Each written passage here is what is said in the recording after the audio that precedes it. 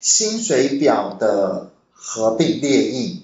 薪水表的合并列印这边可以看到，我要印出来这个员工编号是几是多少，然后员工姓名、部门、职称，好，巴拉巴拉很多很多。然后这里面是不是有发现实际领的金额？那我们来看一下哦，这边有一个实际实际领的金额，我们来分两边来去看好了。这边有一个实领金额，实领金额在这里，实领金额在这里，然后应领金额，应该要领的金额，哦，对不起，应领金额，对不对？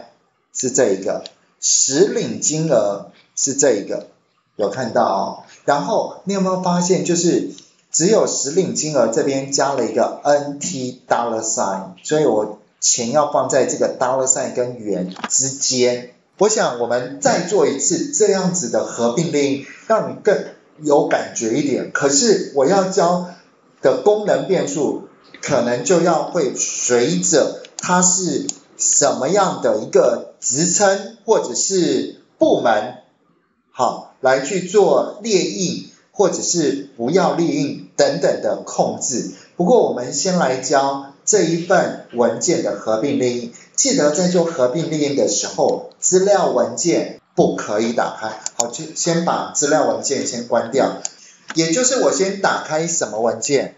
我先打开刚刚的薪水单。Word 合并列印这个主文件，打开这个主文件之后呢，我们因为要去做什么合并列印，所以点选邮件启动合并列印，这也是属于信件或者是一般 Word 文件。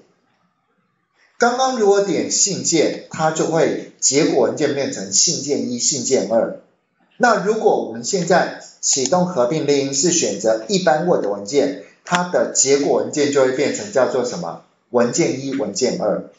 选取收件者，选取收件者使用现在已经存在的档案，然后点选在我是放在低磁碟机底下的整合范例合并列印里面的。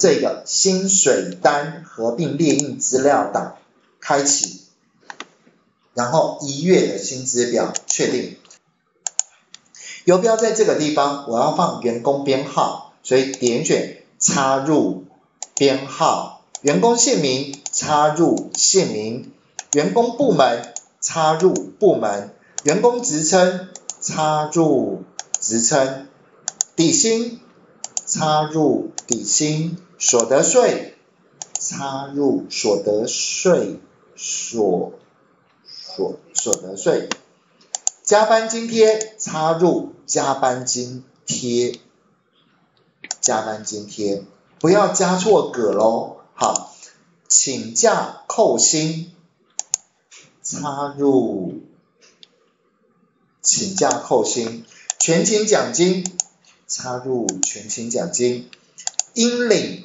金额插入应领金额，